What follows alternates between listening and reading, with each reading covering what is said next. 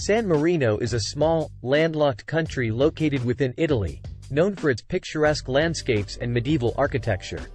It is one of the world's oldest republics, having been founded in the year 301 AD by Saint Marinus.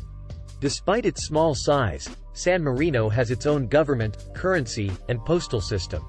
The country is famous for its UNESCO World Heritage Sites, including the Historic Center of San Marino, the Mont Titano, and the San Marino Historic Center and Mount Titano. San Marino has no national debt and is considered one of the wealthiest countries in the world per capita. The country is home to several interesting museums, including the Museum of Torture, the Museum of Curiosities, and the Museum of Modern and Contemporary Art.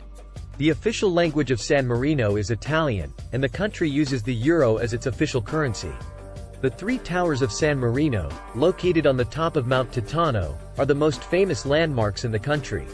The country's economy is mainly based on tourism, banking, and small-scale industries. The country is famous for its high quality of life, with a low crime rate and a high standard of living.